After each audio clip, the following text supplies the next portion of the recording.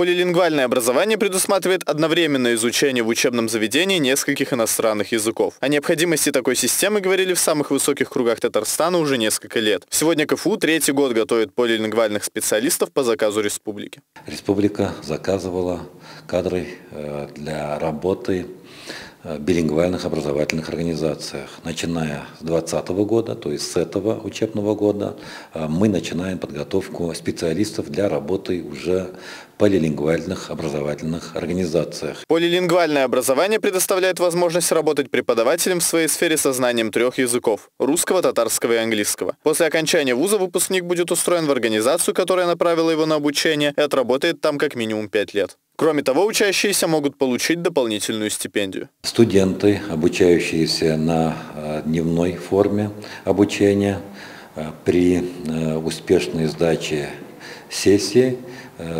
будут получать стипендию в размере 15 тысяч рублей в месяц.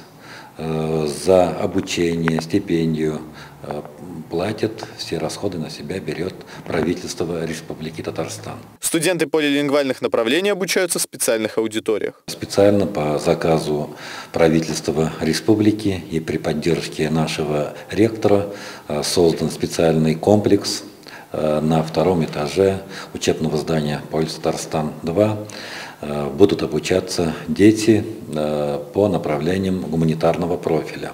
На третьем этаже также созданы Э, специальные аудитории э, будут обучаться э, студенты, которые получат профессию уже в области, естественно, математического блока. В 2018 году в рамках проекта обучалось 125 студентов. В 2019-2020 учебном году их количество увеличилось до 265.